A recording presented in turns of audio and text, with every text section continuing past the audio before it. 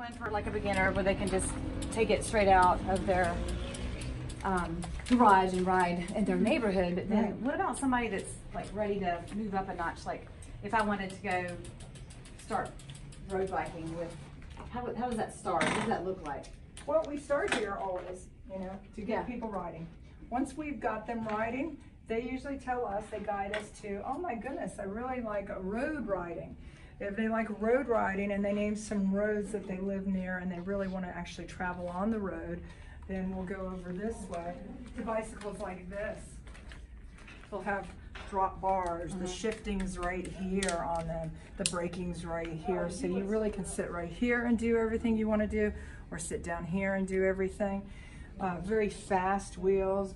The bicycles, we, we sit like this, so that's a lot different, okay?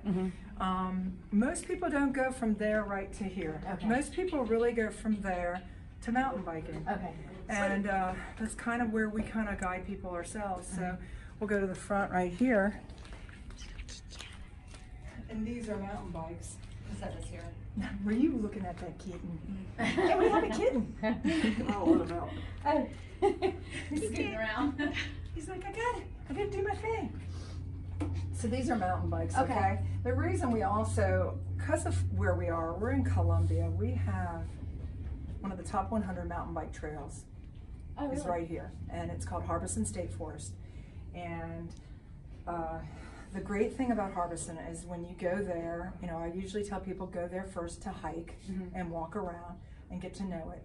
And we have a great little trail called the Firebreak Trail. It's like five mile loop. It's nice and safe. Um, it's not too rooty and rocky. People walk it first to make sure that they think they can ride their bike on it. Um, that bike over there wouldn't do a good job of it. It would be a mountain bike that we have to go Mhm. into.